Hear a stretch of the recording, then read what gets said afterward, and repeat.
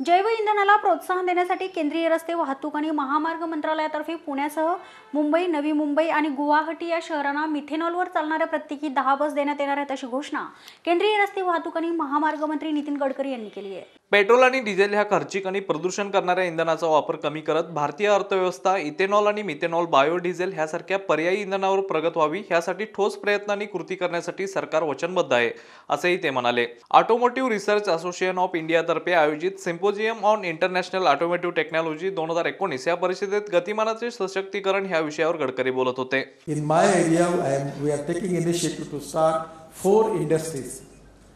which they are they making bio CNG from biomass. Now the rice straw is a appropriate material because in Delhi area we are facing the problem of pollution because of the burning of parli, rice straw. So this can be option that we can make the bio CNG. Pune already there is one plant is there. So in Ganga, we have 125 biodigesters. And we are now discussing the issue with the petroleum ministry.